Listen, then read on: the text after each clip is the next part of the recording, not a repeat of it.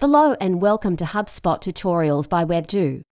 This is Jessica and our today's tutorial is about how to export lists from HubSpot. If you need to access a list of contacts outside of HubSpot, you can export an active or static list of your contacts. Let's see how to do this.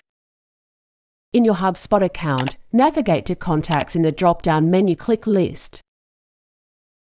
Hover over to one of your existing lists, then click the More drop-down menu and select Export. Select the checkbox next to a property to include selected properties in your export.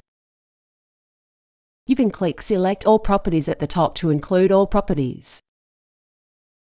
In the selected columns on the right, you can click the cross button to remove any properties you don't want in the exported list. Click Next. In the dialog box, select a file format using the drop-down menu. Next, select the language you want. Click Export.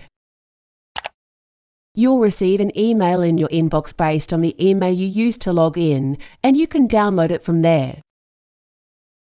This is how you can export lists from HubSpot.